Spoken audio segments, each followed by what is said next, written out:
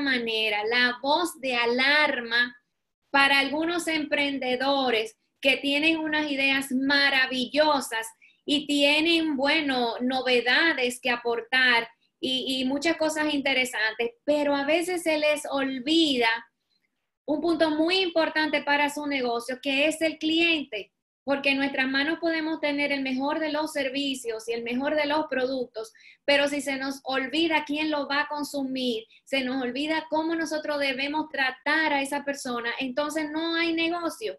Y quiero ser la voz de alarma, no importa lo creativo que usted sea, acuérdese de que esa persona tiene que sentirse bien cuidada, tiene que sentirse bien tratada. Entonces, eso, quiero llevar hoy la voz de alarma. Quizás hoy no le dé yo la respuesta a la pregunta que tú tengas, pero sí quiero que pienses en algunos puntos que yo pueda tratar hoy que quizás vayan directamente hacia el servicio que tú ofreces o el producto que tú ofreces.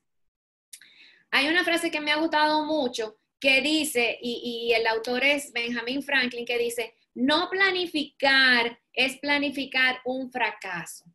En este caso, yo hasta quisiera añadirle, no planificar tener una cortesía, unos buenos modales, es planificar un fracaso. Yo sé que en la mayoría de los casos, cuando vamos a emprender, pues hacemos investigaciones, hacemos un estudio de mercado y demás. Y bueno, y así empezamos, emprendemos, iniciamos nuestro proyecto. Pero hay que planificar, como les dije, estas cosas que nadie nos la dice y que probablemente no le encontramos en, abundancia en este momento hasta en las mismas redes, pero que sí yo quiero hacer hincapié de ellas. Y yo pienso que de alguna manera y como les decía a ustedes, esto que les voy a tratar hoy es simplemente sale de mi experiencia, no es algo que lo he visto en algún libro, pero yo pienso que esto es de alguna manera volver a las raíces, volver a las raíces. El momento que estamos viviendo eh, ahora, casi, casi como que nos está obligando a regresar un poco atrás. O pudiéramos nosotros decir, como le pongo aquí esta, esta pregunta, ¿será que necesitamos nosotros volver a lo elemental, volver a lo básico? ¿O será que nosotros necesitamos retomar algo del pasado o lo mejor del pasado y combinarlo con lo mejor del presente? ¿Será que nos están sacudiendo porque se nos, han olvidado algunas cosas en el camino con la propia tecnología y nos hemos dado cuenta de que es necesario? Yo que estoy desde Santo Domingo, República Dominicana, y sé que ustedes están en muchos otros países también, he visto en mi propia ciudad como cosas que nosotros teníamos como tradicionales y que se habían olvidado, de repente las tenemos de nuevo.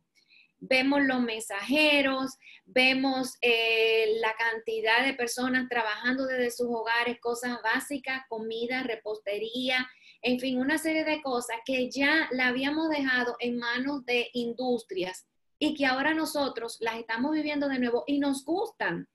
Entonces, a través de la tecnología inclusive, ahora resulta que nos estamos comunicando y nos estamos dando cuenta de que hay formas de sí nosotros transmitir calidez. Yo misma he hablado muchísimo, probablemente ustedes lo han visto en distintos videos, sobre cómo transmitir calidez en un saludo a través de eh, la parte virtual. Entonces, yo me pregunto eso, ¿será que necesitamos volver a nuestras raíces y buscar qué nos faltó, qué dejamos en el camino? Bueno, vamos a ver lo que yo les traigo hoy y como les dije, ustedes me van a decir qué les parece. Hay una hay un elemento principalísimo dentro de ese negocio que nosotros eh, estamos emprendiendo y ese elemento, como les dije, es el cliente.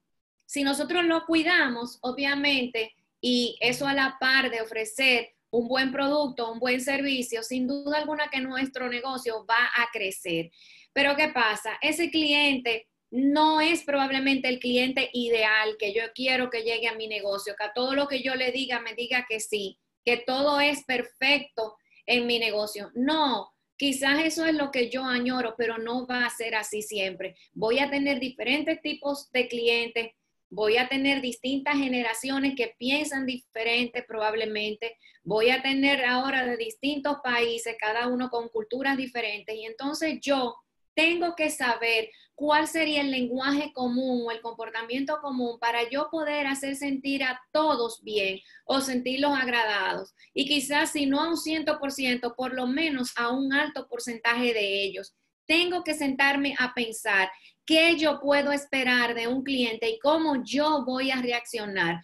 Pero esto se complica un poco más porque probablemente el negocio que yo he emprendido no depende solamente de mis manos, depende de otras personas.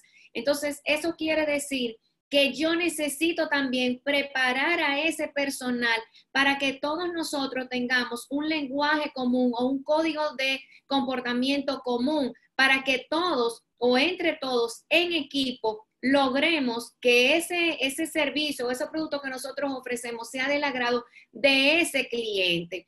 Entonces, vamos a ver eh, qué nosotros podemos hacer precisamente para hacer sentir bien ese servicio. Y miren, en la mayoría de los casos, el cliente pide muy poco. Es muy poco lo que nosotros tenemos que hacer para hacerlo sentir bien. En tiempos atrás, el cliente lo que quería era un buen servicio, era calidez, era sentirse en buenas manos.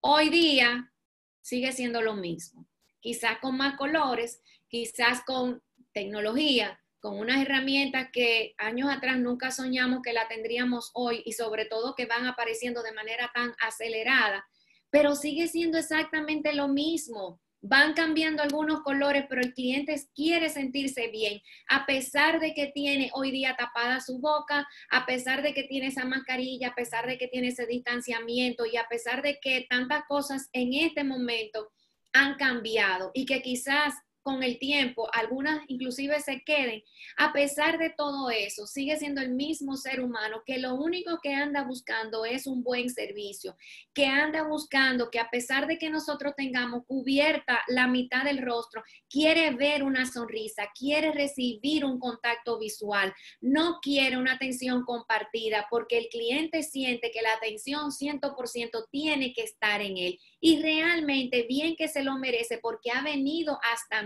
ha elegido mi producto. Y ustedes saben cuántas empresas y cuántas personas ofrecen el mismo producto que yo tengo, que tú tienes y que todos tenemos.